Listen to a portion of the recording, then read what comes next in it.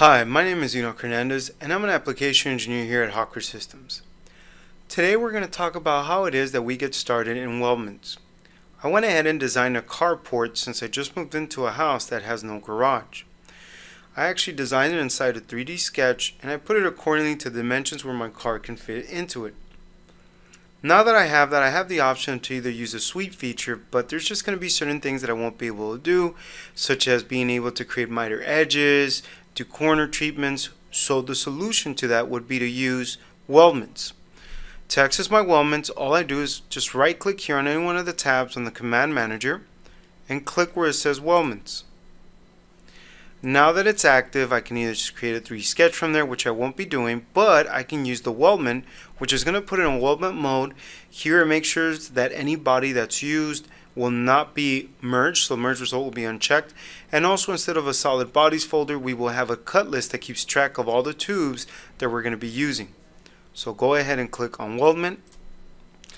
Now I can click on structural member, but before that, in case you don't have the actual structural members, you can go into the design library inside the task pane. From the SOLIDWORKS content, you can open it and click here where it says the weldments folder and select ANSI inch. You can use BSI, CISC, and this contains structures already made accordingly to that standard. To download them, we just hit control and hit left click. And once we do that, what's going to happen is that it will download a zip file and you can put it on the correct folder that you're referencing. I already went ahead and grabbed the ANSI inch and the ISO so again, just to make sure, I click here on Options, go to System Options, click on File Locations, and then I'll go to the filter and adjust it so that I can only see the weldment profiles. And then I have correct location where it's going to be referenced. So I'll click OK. So now I'll click on the structural member and again, the standard, I can either use ISO and ANSI inch. I went ahead and modified the name so it doesn't get pick up another folder. So I go ahead and select inch. Then the type is going to be called aluminum round tube. So there it is. For the size, I can either use previous ones that I've selected or I can scroll down and click on 1.25 the outer diameter which is the tube has with the wall thickness of 0.125 and now I can begin to actually add the groups. Now the rule is that when we add our groups they either have to be in a closed shape, be parallel to each other, and in case they don't meet those requirements then just select them individually and create new groups. So I'll start off with the rectangle. So here I start with my first one. So again you'll notice that the 2D sketch, and of course I could have used the 2D sketch to do this as well, but all these sketch entities are just placeholders because SOLIDWORKS doing all the work to actually put it in there without me having to create the profile or anything for it. Now if I zoom in here you'll notice that the corner treatment is a miter edge. I can change it to an end butt and flip the location. I'll leave it as a miter edge and I can also add a gap. I'll continue to add the rest of the other sketch entities in this rectangle.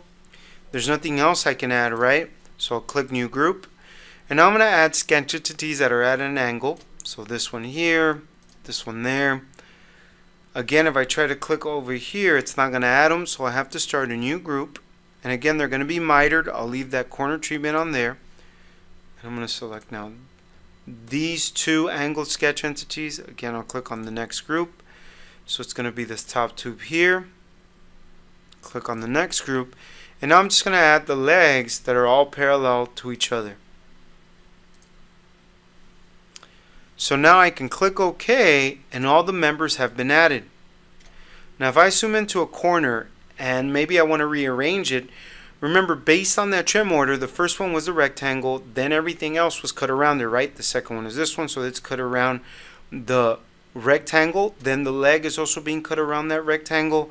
I can change that trim order just by going back and right clicking, editing that feature of the weldment members and all I have to do, if you've noticed, we've had those little circles there. So I click on them and then I can go and select. So here I have my second trim order. Let's say I make it go back to the first one. And if we zoom in, we can see how the cut has been changed. So for now, I'll leave it as it is. Again, I can change this, the third group and change the order to the first one. And we can see how it's been cut. I can click OK to accept this corner treatment, click OK to exit. and now see how it goes around it now I just want to make sure that it's not going into it it's okay it's perfect I can do the same for this top one let me zoom out there so we can see that better So just in case I want to further trim this so that nothing's touching, I can always go ahead and use what's called the trim extend. From here, I can add a miter edge. I can use an end butt again and inverse the direction of it. For now, this is the body that I will be trimming, and then I select the trimming body, so it'll be the bodies here at the rectangle, so that body, this body there, and see how now that corner is no longer going into there, and it sits perfect. I can add a weld gap if I want to, at an eighth. I'll leave it as it is and then just click OK and now I've adjusted it. So now see how it's been cut.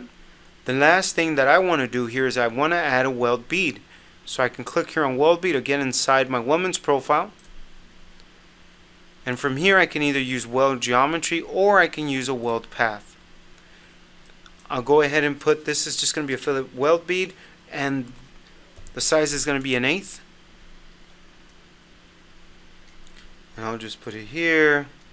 So there I've added one weld bead. Let's see if I can add one here. Perfect. So now after adding that, what I'm going to do is I can click OK.